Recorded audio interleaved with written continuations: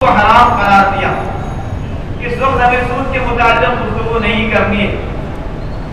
कारोबार, खरीदो फरोख्त जिसको अल्लाह ताला ने हलाल करार दिया है और जिस पर इंसानी ज़िंदगी का दारोमदार है कि इंसान अपनी जरूरियात खरीदने के लिए किसी के पास जाता है, सामने वाले को पैसों की ज़रूरत होती है।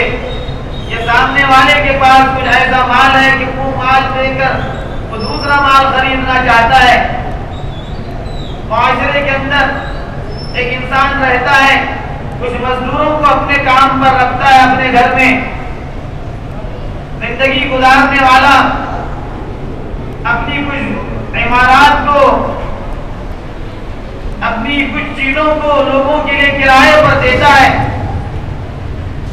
शरीयत इस्लामिया ने इन तमाम चीज़ों के जुदा जुदा अहकाम बयान किए हैं, उसकी पूरी तफसीलात बयान की हैं।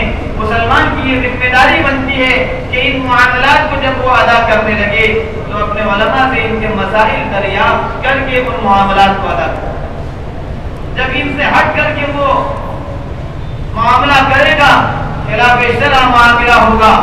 और खिलाफ शरा मामला करते हुए जो चीज़ उसके घर में आएगी वो हराम की चीज़ होगी। जब हराम की चीज़ इंसान के पेट के अंदर जाएगी, उसकी इबादत भी कबूल नहीं होगी।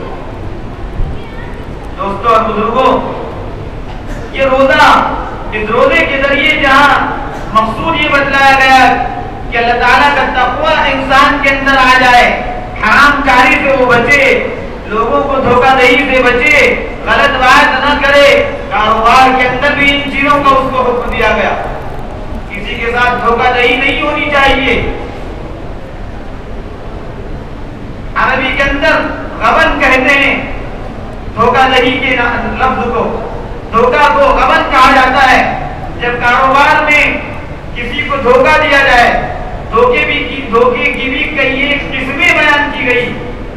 एक तो धोखा यह है कि आदमी बुरे माल को अच्छा माल कर, कहकर की मुद्दत खत्म हो चुकी है, उसको भी बेच दे। जो माल कम कीमत का है, उसको बड़ी कीमत का बदला कर बेचे।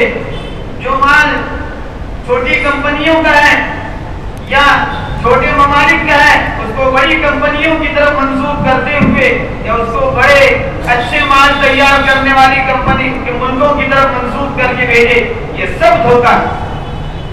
धोखे में ये भी है कि कोई आदमी अपने ग्राहक को जब नापने और तोलने का मौका आए, उसमें भी धोखाधड़ी से काम है धोखाधड़ी को इख्तियार करने वाला हो।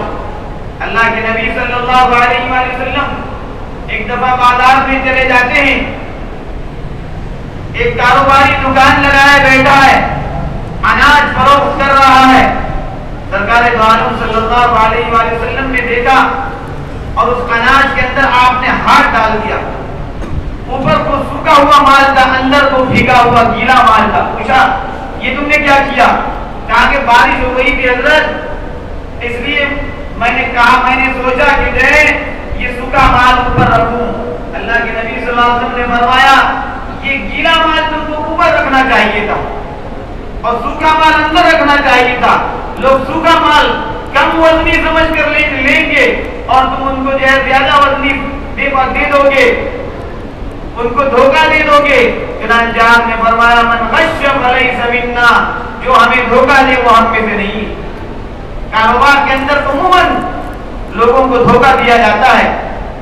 और कामयाब ताजिर उसको समझा जाता है आजकल की इस इस्तिला में सरमायादाराना निज़ाम की इस इस्तिला में।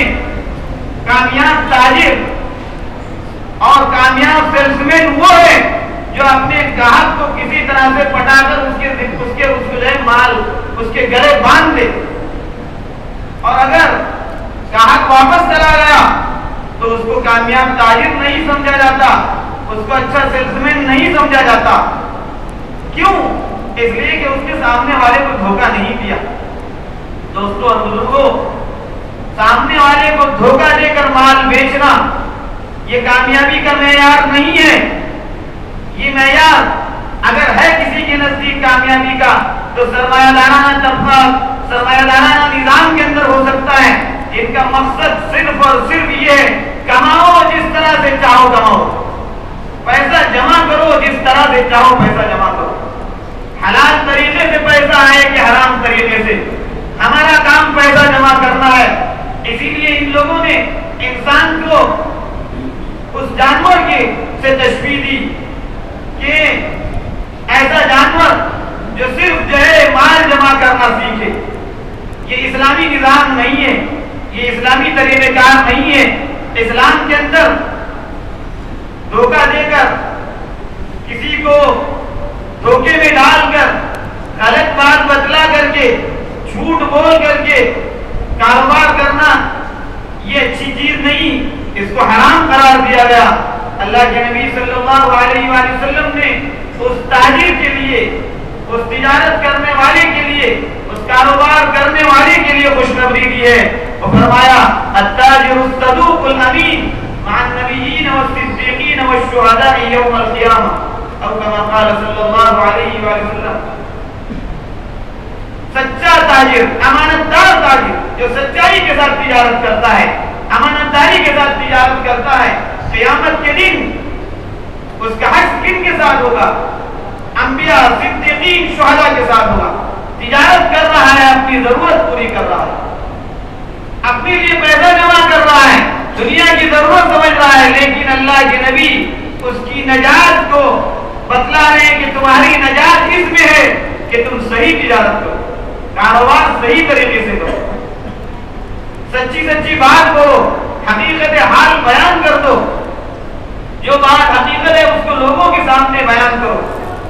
चुनाचे कलर हो, धोखा हो, झूठ हो खयानत हो, ये तमाम चीज़ें अगर कारोबार के साथ मिली हुई है तो वो कारोबार हराम है। इस्लाम ने पैसा जमा करने को गलत नहीं बतलाया, लेकिन सही तरीके से पैसा जमा करने का वक्त दिया पैसा आदमी के घर में आए, सही तरीके से आए गलत तरीके पर जब पैसा आता है, हो सकता है कि वो पैसा आपके पास बहुत ज़्यादा माल की शक्ल में हो, उसके अंदर कोई बरकत ना हो। और वो लम्हों के अंदर तबाह हो जाए, लम्हों के अंदर अल्लाह ताला उसको खत्म कर दे, उस हराम माल के अंदर कोई बरकत नहीं होती, जो माल गलत तरीके पर इंसान के घर में आता है।